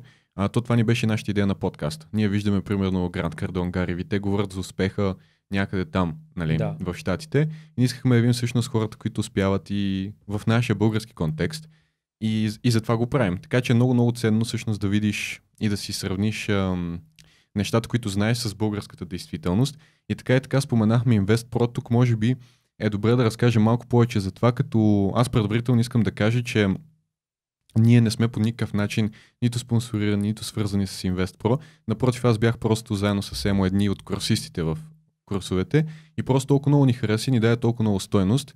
Ние реално там разбрахме за тебе, Така че, а, дай ни разкажи малко какво е това InvestPro и какво предстои за вас и как всъщност, ако на някой му е харесало това, което ти говориш и иска да влезне повече в дълбочина, може да се включи. Нека да влезнат в, в сайта на InvestPro. А, миналата година всъщност беше първи сезон, в който експерти от няколко а, различни области разказват а, как, да, как да изкарваме пари в нашата, в нашата българска а, действителност. Бяха засегнати теми като а, как да инвестираме в акции, в а, криптовалути, а, в а, ценни метали, в а, недвижими имоти, а, как да си направим а, а, личен, бизнес, а, личен, а, личен финансов план, как да го следваме, в какво да инвестираме нашите средства и така нататък. Аз а, водих а, курса за инвестиции в недвижими имоти, като още в който, още момента в който организаторите ме поканиха, аз им казах, че наистина моята цел е да, а, и с теб всъщност го обсъдихме, а, да, а, да направя един курс, който да, да помогне на хората, които а, са решили да инвестират в имоти или пък съответно а, да, а, да, да им помогне да, да минат през целия инвестиционен процес и през целия процес, включително ако го търсят за собствен имот, а, така че все едно преди това са правили няколко сделки, а, а да, а, да, да няма тая несигурност, която има всеки един потенциален купувач, да знаят какви са етапите на сделка, да знаят какви са рисковете, да знаят какви са плюсовете, да знаят за какво да внимават, да знаят как да си изберат а, а, екипа с хора, от които да работят а, и така нататък и така нататък. Курсът се получи доста дълъг, както а, ти сам знаеш специално курса за, а, за, за имоти, който аз ръководих. И всъщност една от целите ми беше а, да накарам хората а, не да инвестират в имоти, защото в повече случаи всеки човек, който, а, който рекламира под някаква форма а, бизнеса си, обикновено един търговец хвали бизнеса си и каза какви са плюсовете. Аз по-скоро исках да, да помогна на хората да разберат дали наистина а, този тип инвестиция е подходяща за тях и ако разберат, че не е, то по-скоро да, да се откажат още в начален етап, а не когато са инвестирали няколко стотин хиляди, а, направили са най-голямата инвестиция в живота си и разберат, че тя е грешна или че е неправилна, защото в нашия бизнес всяка една грешка може да струва хиляди лева на семейството ти. Така е. А, и затова според мен това, което ти каза, а, че нали, твоя курс е бил доста така а, голям и дълъг. А, ако се замислиш, това, което ние си говорихме тук на всички тези теми, което може би час и половина вече си говориме, толкова да кажем в дълбочина да разгледаме какво да гледаш по време на оглед, да кажем едно твое. Да. Така че така. там е наистина много по- подробно и съветвам всеки. Ние ще оставим линк отдолу в описанието на, на подкаста, а, който му е интересно да се запознае. Има ли само в недвижими имоти, има и а, нали, хора, които се интересуват от различни финансови инструменти, така че мисля, че е една такава добра програма, както и ти каза по-рано, най-добрата инвестиция, която мога да правим е в ума си, така че един вид, а, това си е точно инвестиция в а, знание и в развитие. А, добре, Митко, а, искам да те питам още няколко неща преди да приключим. И то е, първият въпрос е свързан с нещо, което много мои приятели ме помолиха да те питам, тъй като е така един голям и ожесточен спор между нас, пък и знам, че много други хора спорят. И то е а, найем срещу собствено жилище. А, нали, доста хора си така имат два лагера. Някои хора казват, че е по-добре да живееш под найем, тъй като това ти дава много повече възможности, много по... М- нали, ти мога да кажеш какви са плюсовите и минусите, а други хора и особено в българската народопсихология, всеки иска да си има нещо собствено. И ние с моите приятели много често сме в този аргумент, така че какво е твоето мнение по въпроса? Това е... Няма конкретен отговор отново. Кажа един от уроците, които научих преди време от един от моите ментори и хора, които, които са ми клиенти и аз от тях уча. А, той кара много скъпи коли а, кара скъпи коли, идва с някакви поршета, абе, брутални автомобили. И един ден го питах, добре, човек, нали, как, нали, защо го правиш? Не е ли по-добре си вземеш имот за тези пари и така нататък? Той ми каза, човек, тези коли са на лизинг. Тези коли са на лизинг и аз му викам, добре, излиза ли ти сметката така? Отговорът му беше много прост. Та кола струва 200 хиляди лева, примерно. Лизинга ми за нея е, да кажем, а, на месец 2000 лева или там 1000 лева, колкото са. Ако парите, които давам аз за този автомобил на месец, да кажем 1000 лева на месец за този автомобил, парите, които бих инвестирал за покупката на този актив, могат да ми носят 1050 лева на месец, за мен няма никакво значение и за мен е по-добре моите пари да ми носят пари, отколкото да го купя този актив, да поемам рискове това да се развали, това се, а, а, да ми го откраднат, да погине и така нататък и така нататък. Така че, а, съдейки от това, че този човек има а, десетки имоти, които отдава под найем и стотици лични сделки, а не като мен като посредник, стотици лични сделки, а, той живее под найем. Той живее под найем. А, аз разбирам, че наистина мечтата на всеки един българин е да, да има имот, но тогава, когато имаш имот и го даваш под найем, можеш първо да, а, да а, от една страна да, да изкарваш а, печалба и от друга страна избъднал а, мечтите на семейството ти да, да имат собствен имот, да знаят, че ако някога а, хазяйната е изрита, mm. има, къде, има кой ти да изриташ и да, си, и да се прибереш. Няма правилен отговор, има плюсове и недостатъци, е въпрос на, на личен избор. Въпрос на личен избор и може би доколко си склонен да управляваш а, цялата... То това си е, ам, може би, една ситуация, която ти трябва да управляваш, тъй като за да живееш под найем, ти най-вероятно имаш имоти, които даваш под найем и финансираш найема си с имотите. Да. Така че е много комплексно. Не знам, а, това е така, аз както ти казах, ужесточен спор между, между една наша група хора. Ам, и отговорът зависи явно. Отговорът зависи. Добре, а, ето един така, може би, самаризиращ въпрос за имотите. А, и той е свързан не толкова с специфичен имот, ми и с пазара на имоти в момента, тъй като, нали, който чете новини и слуша, виждате, че всеки месец след всеки месец ние бележим все по-висок кръст на пазара с имотите. Ти как виждаш и би анализирал ситуацията в момента и добро време ли е човек да инвестира в имоти? И нали, това, което хората казват, купи имоти, тогава чакай, а, а не чакай за да купиш имот, дали все още въжи? Ако купуваш имот за семейството си, няма абсолютно никакво значение какъв е, какъв е в момента пазара. Защо? Защото ако си решил да направиш тази стъпка и това е първото жилище, причината за да го продадеш след години по всяка вероятност би била да го, а, да го апгрейднеш, т.е. да го продадеш и да купиш друго жилище. Тоест в този случай няма никакво значение ситуацията на пазара, защото ако хипотетично след време решиш да го продаваш и пазара се е сринал, каквото е масовото очакване на всеки, ако пазара се е сринал, това означава, че ти ще го продадеш ефтино, но означава и, че ще купиш ефтино апартамент. Затова, според мен, няма абсолютно никакво значение състоянието на пазара. Тогава обаче, когато правиш инвестиция в имот с а, краткосрочна цел, т.е. искаш да го купиш сега и да го продадеш следващите няколко месеца, тогава има много значение какво се случва в момента на пазара. А в момента от ден на ден строителните работи а, и материали, а, тяхната стоеност се увеличава, което означава, че скоро е твърде вероятно да чуем за инвести... инвеститори, които не са завършили инвестицията си или тя не им е а, донесла необходимата печалба и са решили по-добре да не се занимават, отколкото да си строят сградата. Mm.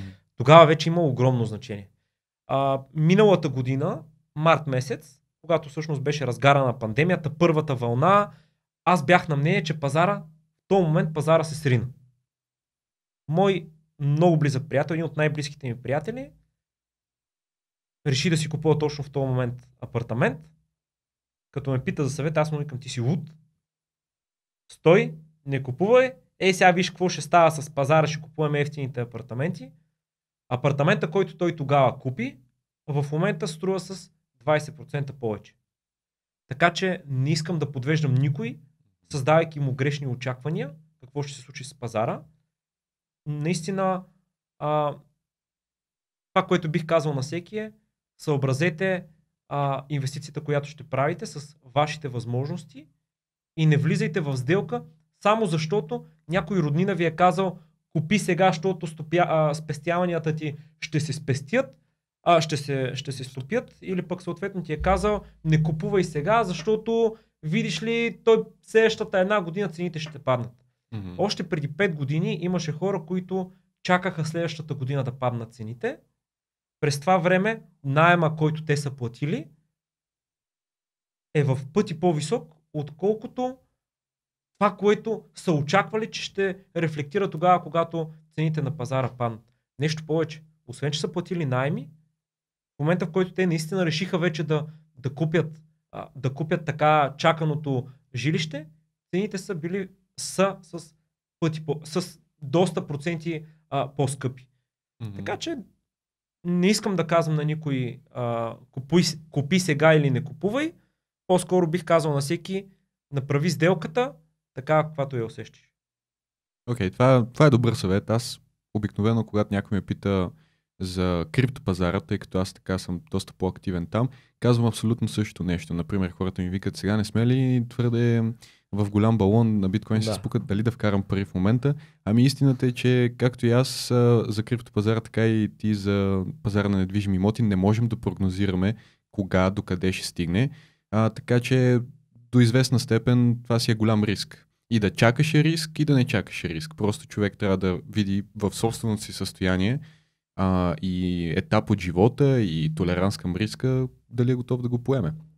Който иде от двата избора, така че разбирам защо не даваш, а, нали, да кажем, конкретен ам, отговор на къде сме тръгнали в момента. Това е една част от играта, която, която трябва да а, трябва да си наясно още в началото да, Одеве, като те питах всъщност аз за криптото, защото и аз те питах, mm-hmm. ти ми каза, влезни с сума, която си готов да загубиш. Да, което мисля, че въжи за абсолютно всяка инвестиция.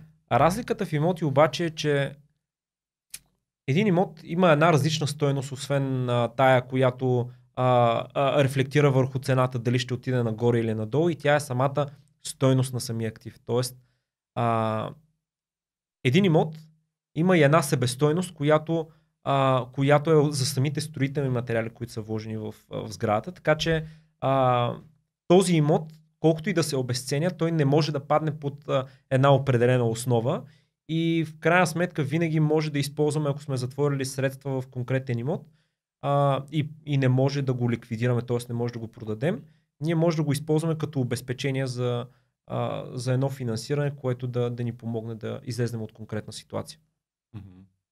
Точно така.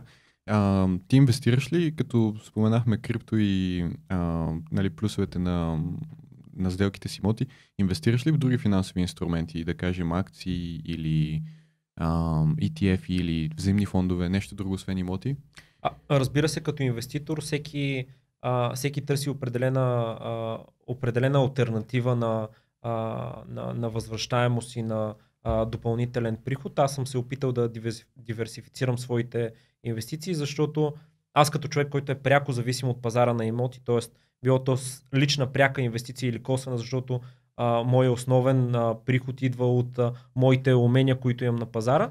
Искам да бъда застрахован за, а, за, за моментите, в които а, тази действителност може да се промени, инвестирам в други активи, но не го правя лично аз пряко, mm-hmm. а съответно го правя чрез хора, които а, разбират в а, съответната, съответната област точно така. Страхотно. Това мисля, че е добър съвет за всеки човек, който няма времето да се задълбае в една сфера, просто да намери хора, а, които разбират от сферата и дори да няма възможност пряко да инвестира в момента, просто да се учи от тях. Поне аз така започнах а, реално и пътя си в а, а, инвестициите в имоти, което започна от uh, InvestPro и в криптовалутите преди това така започнах просто с хора, които разбират от които да се учи, което мисля, че а, е най-лесният начин да се научиш. Аз мисля, че и средата е изключително важно за това нещо, защото всъщност ако ние сме заобиколени от хора, които, а, които инвестират и които имат а, по-високи стандарти за себе си и за, а, и за, своите, а, за своите средства и активи, тогава и ние израстваме а, и всъщност малко по-рано в разговора ни ти каза за този финансов лост, за който са ти говорили. Всъщност ти си научил, с него, ти си научил за него, защото си бил заобграден от такива хора и такива личности, които се интересуват от темата. Така че това е едно от нещата, които смятам, че в началото трябва да се замислим, когато, за, когато решим да, да инвестираме в нещо, всъщност с кого ще го правим и, и как, ще, как ще го правим. Абсолютен, абсолютен факт. Аз нещо подобно ми се случи това лято. Бях на бях в един а, град, така нещо като на турне ходим с а, на, нашата компания и ние реално си говорихме за инвестиции, за лични финанси, за, за криптовалути и така хора, които не са от нашата компания, си викат, а, те па само за пари си говорят, което ми направи така интересно впечатление, защото при нас това е нещо като нормата. Нали? От време на време стигаме в някакъв супер дълбок разговор, който продължава няколко часа на тази тема, докато за някой, който не е част от средата ти, това се струва супер странно, супер меркантилно и супер не е окей да го правиш. И тогава си викаш, окей, значи ако съм в тази среда, тогава се говорят други теми и, и си дава сметка всъщност за, за ролята на средата и как всъщност там, където ти отива фокуса, в крайна сметка ти отива и енергията и идват и резултатите, както казва нали, Джим Рон. Така че това, което казваш, също е доста ценно. Добре, Митко, да завършим а, с а, няколко въпроса пак за, за тебе, тъй като много хората познават с шапката на недвижимите имоти и реално много от нещата, които знаят за, за тебе са свързани само с това. Но кажи ми за някои от твоите хобити, всъщност какво обичаш да правиш ти, освен да се занимаваш с недвижими имоти? Митко като човек. Митко като човек почти, пря... почти цялото си време а, наистина говори за, за имоти и изгаря за това нещо, но тогава, когато не съм, не съм по обичам да играя баскетбол, обичам да прекарвам време с приятели а, и, да, и да се развивам. Страхотно, баскетбол съм играл 20, 12 години баскетбол. Доста, доста готин спорт. Професионално или по-скоро? Не. Професионално до... Всъщност приключих с спортната си кариера в университета. Последно играх за, за университетски отбори. Всъщност тези неща, които съм научил от спорта, определено ми помагат в, в, в, в, в бизнеса, с който се занимавам. Така че а, не го правя професионално, вече играя в аматьорска лига с приятели. А, далеч не съм... А, далеч съм от това професионално ниво. Uh, спорта определено много помага в професионалното развитие. Аз съм го забелязал и баскетбол, особено екипен спорт. Ти казваш, че ръководиш. Доста хора в, в явлена, така че предполагам виждаш някакви uh, неща, които може да се отнесеш към баскетбола.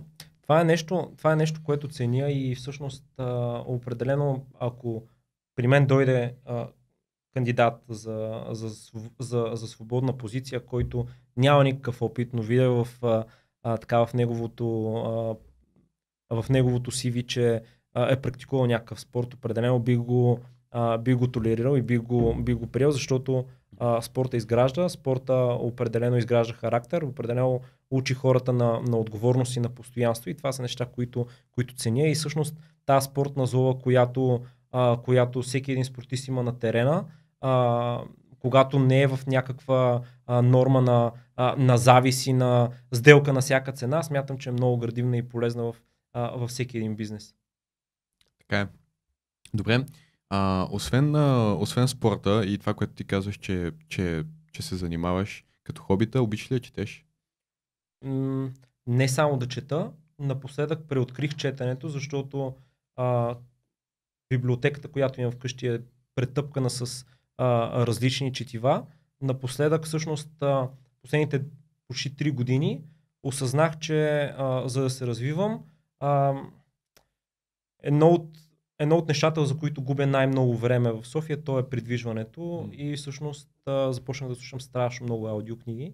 Направил съм си, плащам си директно годишен абонамент и нон-стоп като, а, като пътувам. Това са половин час в едната посока, говорим за сутрин преди да свърша, а, преди да отида на работа и половин час вечер, когато се, а, когато се преди, прибирам. Плюс това, че ежедневно съм носта в, а, в автомобила, но пък тогава чрез хендсфрито говоря с някой. Това означава, че един час, който преди аз губех, в момента го инвестирам в а, слушане на, на аудиокниги, така че да, определено това е а, аз не бих го нарекал хоби, а по-скоро това е вече някакъв на, навик, mm-hmm. нещо, което не го правя, защото а, а, защото някой ми е казал, че трябва да го прави или пък да, да го правя, защото ми е много приятно, по-скоро вече съм го приел като навики и това е част от моето ежедневие. Даже ако му направиш математиката, 365 дни по един час са ти 365 часа. Ако кажем, че една книга, аудиокнига е средно 10 часа, ти един вид прочиташ 35 книги просто от това, че пътуваш, което е гениално. Ако, ако трябва пък да сме още по... А, нали, понеже аз съм човек на статистиката, готиното е, че а, това приложение, което ползвам за аудиокниги, то си има и статистика mm. и всъщност ти показва а, колко време си а, а, колко време си прекарал в а, слушане на книги, а, какъв а, човек си като спрямо книгите, които четеш и съответно кога, а, кога прекараш най-много време за, а, за слушане на книги. Така че много е готино, препоръчвам на Ти Storytel всеки... ли ползваш? Storytel ползвам. Да, и аз ползвам Storytel. А, доста добре, обаче със сигурност не ги докарвам толкова часове, колкото ти ги докарваш най-вероятно. Ами, нямам представа, важното е да, Да, Да. се случва. да, да се случва. В началото, всъщност, понеже за мен това е супер подарък, подарял съм го на мои приятели като, а, като подарък. А, на мен ми беше много трудно в началото, когато започвах с това нещо, нали, да, да, го, да го изградя като, като някакъв навик. Много се разсейвах. В момента се чувствам супер фокусиран и изобщо нищо не ме, а, не ме разсейва, когато слушам книга. Преди време много ми се налагаше да връщам назад, да заспивам по време на, а, на, на слушането, защото и вечер го правят, но вече изградих някаква, а, ада, адаптирах се и ми е много приятно. Окей. Добре, препоръча ни, да кажем, няколко книги, две-три книги, които доста са ти повлияли напоследък или ако някой просто се е изкефил докато те гледа и си каже, о, много искам по майндсет да доближа майндсета на Митко. Кои са те книги, които са ти повлияли най-много? А, номер едно, може би, книга в, в листата ми, това е на Окмандино, а, на Окмандино Най-великият търговец. Това е книга, която а, съм чел точно както автора е, на, а, автора е написал. Всеки, който отвори книгата и започне да я чете, ще разбере какво имам предвид. А, това е едно от най-силните ми четива. А, може би е много странно, но за тази книга още преди години една моя приятелка ми я препоръчваше, казваше, трябва да я прочетеш, трябва да я прочетеш точно като за тебе, точно като за тебе. А, но стоп я прокрастинейтвах, не я четох. Прочетох я за първи път преди, може би, 5 години, може и по-малко от 5 години. И наистина просто смятам, че на всяка една книга си идва, си идва времето. А, нещо друго, което а, може би трябва да си отворя Storytel. А, много ми е странно да препоръчвам книги на някой. А, винаги съм се така дразнил съм се, като някой ми препоръчва Кюсаки, но смятам, че това е някакъв а, много добър старт и съм я дал на мои близки, когато са ме питали с какво да започна. Всяка една книга, елементарно написана, супер бейсик, много добра за старт да започнеш да се а, развиваш а, на, на Шарма, на, а, на Робин Шарма книги, на а, съответно на а, Карнеги бих препоръчал. Това са по-скоро автори, които не бих казал конкретна а, тяхна книга, а нещо, което каквото и да вземеш, смятам, че, че е окей. Да, особено за, да кажем, в един начален етап, те, които ти каза всичките. Аз миналата година така си направих един маратон от 52 книги за личностно развитие и бизнес, така че точно такъв тип автори четох и бих казал, че те ти дават така нали, някакви основни неща, които после ти трябва да първо да надграждаш. Знаеш кое най-много ме кефи при такива автори и при, при такива книги? Че а, не е необходимо да прочетеш цялата. А, в, всяка, във всяка една книга, в а, всяка една глава има, има някаква сентенция, която можеш да си откраднеш, някакви прости принципи, които, а, които можеш да приложиш. Понеже аз съм много полигамен по отношение на книги и обикновенно а, чета N на брой книги едновременно, доста различни като, а, като, а, като жанрове включително. А, смятам, че наистина това преди време един приятел ми го беше казал и аз вече си го откраднах от него. А, понеже като затвориш една книга и, и може да мине време и да се. И, се- и чувствах някаква такава отговорност и ми беше много криво, че не съм прочел цялата книга. Той ми каза, ей, човек, спокойно, не го мисли. Ти си откраднал това, което ти е необходимо. Наистина с времето а, видях, че това нещо е така. Мгм. Тоест ти гледаш съдържанието и си избираш нещо, не, не, не, карам си я подред и Мгм. смятам, че наистина има, има нещо над нас, което, а, което движи нещата и, и ние сме си... Важното е да си вземеш това нещо от, от Мгм. конкретна книга и да започнеш да го прилагаш. А, това второто е много важно, защото това, което ще я ти кажа, че аз като ги прочетох, те с 52 книги, доста от случаите те са много, как да кажа, някои неща съвпадат, като неща, които авторите препоръчват да направиш, но в други случаи има някакви такива конфликти между тях. И ти ако не действаш, когато прочетеш дадена книга и не се опиташ поне в българския си, българската си действителност да приложиш нещата, в един вид имаш супер много знания, които по някой път имат конфликти и ти като не си ги тествал, не знаеш кое е добро за Да. тебе, така че по някой път могат да те объркат този тип книги в голямо количество без действие. Така че това за действие мисля, че е много, много важно.